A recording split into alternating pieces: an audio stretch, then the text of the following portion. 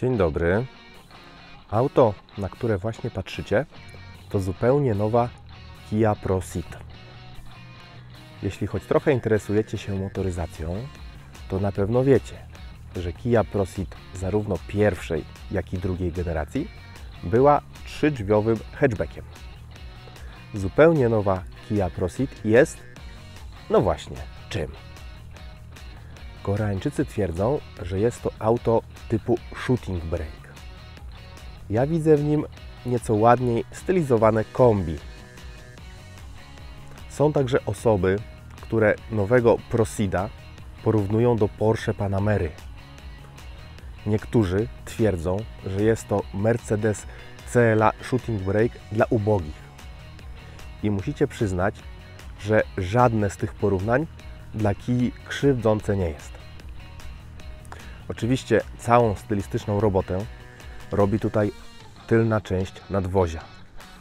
Seksownie opadająca linia dachu, srebrna wstawka przypominająca płetwę rekina oraz te bardzo fajne, szerokie, LEDowe światła. Auto prezentuje się z każdej strony naprawdę bardzo świeżo i dynamicznie. Wersja, obok której właśnie się znajduje, to odmiana GT. Odmiana GT, czyli jedna z dwóch odmian, której Procida możecie kupić. Oprócz niej w ofercie jest jeszcze wersja GT Line. Co od strony stylistycznej wyróżnia topową odmianę GT? Już pokazuję. Z tyłu mamy dwie aluminiowe końcówki układu wydechowego i są to prawdziwe końcówki, a nie żaden atrapowicz. Pomiędzy nimi znajdziemy dyfuzor. Wyróżnikiem wersji GT są także te czerwone wstawki na listwach progowych. Czerwone akcenty znajdziemy także na przednim zderzaku oraz na przednim grillu, na którym umieszczono także oznaczenie wersji.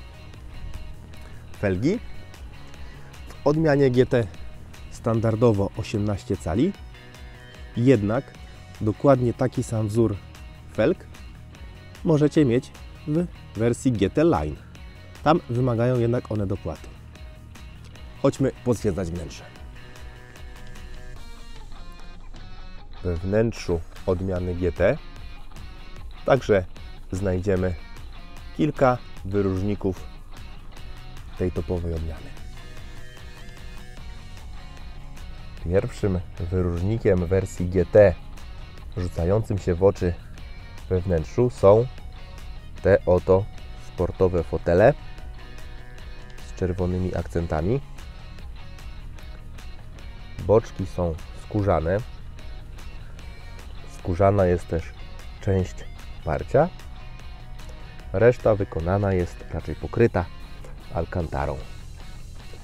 Czerwone akcenty znajdziemy także na boczkach drzwi oraz między innymi tutaj na gałce zmiany biegów.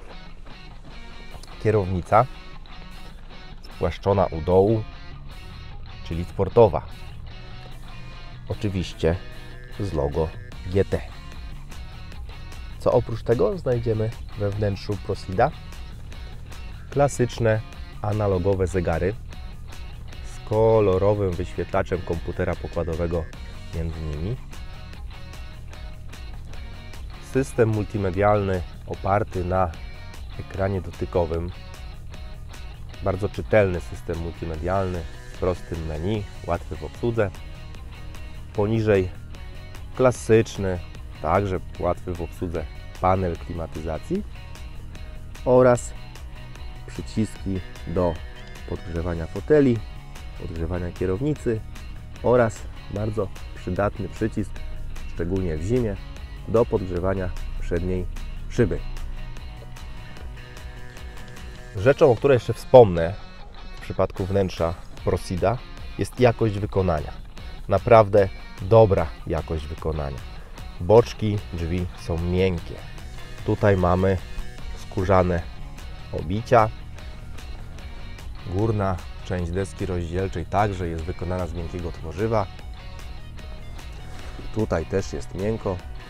Dopiero tu od tej linii w dół robi się twardo.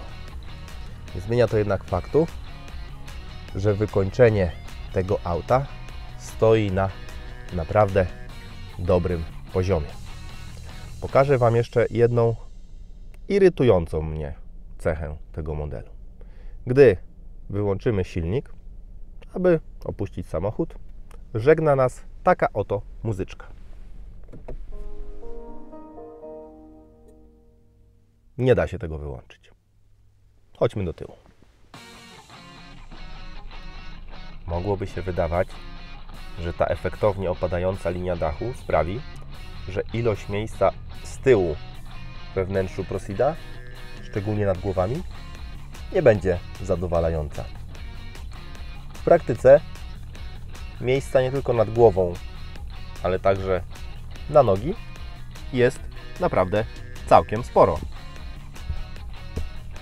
Plus za dwa nawiewy, minus za brak chociażby jednego złącza USB dla pasażerów tylnej kanapy. Dwa takie złącza znajdziemy z przodu.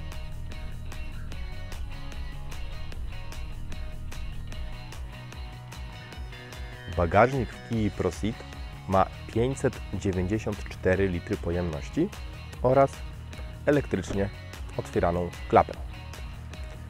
594 litry to wynik o 31 litrów gorszy od pojemności kufra Sida w klasycznej wersji kombi.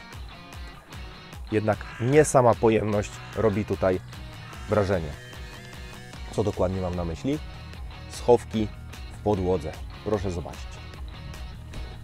Jeden duży schowek, drugi duży schowek, trzeci schowek oraz czwarty i piąty schowek. Są jeszcze jeden haczyk i drugi haczyk. Tak, bagażnik Prosida jest naprawdę praktyczny i bardzo funkcjonalny.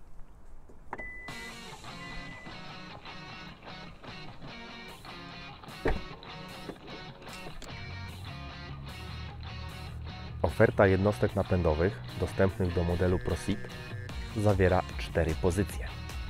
Podstawowym silnikiem jest jednolitrowy trzycylindrowiec z turbo o mocy 120 koni mechanicznych. Powiem Wam szczerze, darujcie sobie tę odmianę.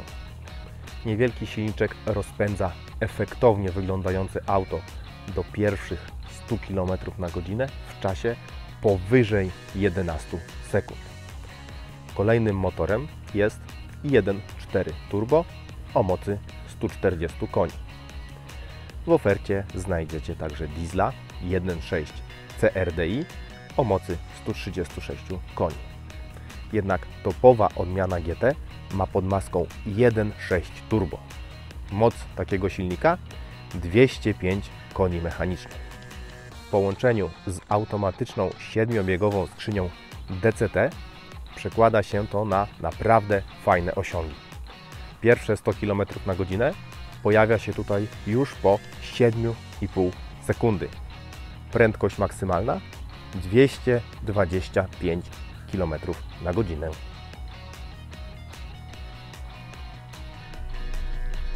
Zastanawiacie się, jak brzmi Prosit w wersji GT? Już Wam demonstruję. Zacznijmy od trybu normal.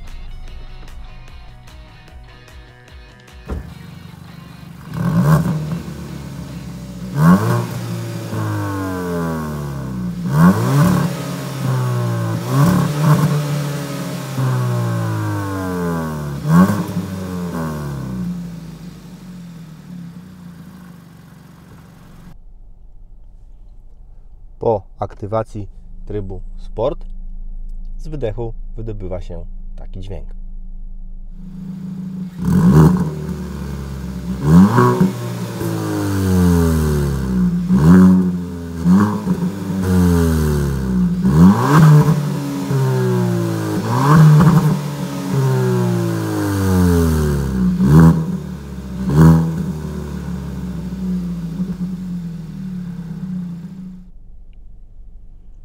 Większą różnicę w dźwięku usłyszymy w kabinie.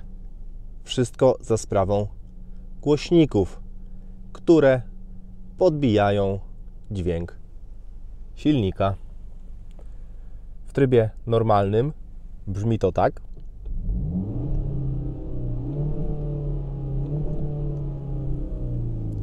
A gdy przełączymy się na tryb sportowy, jest głośniej i bardziej basowo.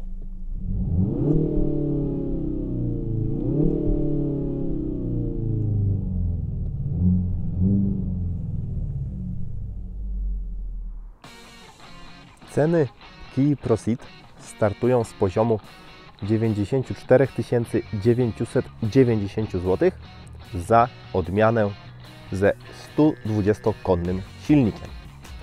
Jak już wspomniałem, ze względu na kiepskie osiągi nie warto się interesować tą wersją.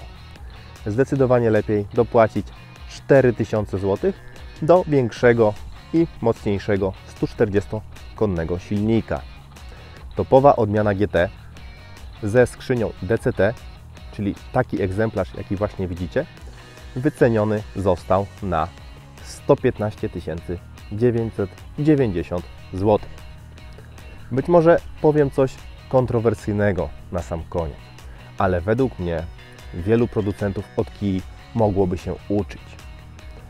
Proceed jest autem praktycznym, funkcjonalnym, w wersji GT całkiem żwawym, a do tego wygląda naprawdę dobrze. Takie połączenie dla wielu producentów motoryzacyjnych wciąż jest nieosiągalne.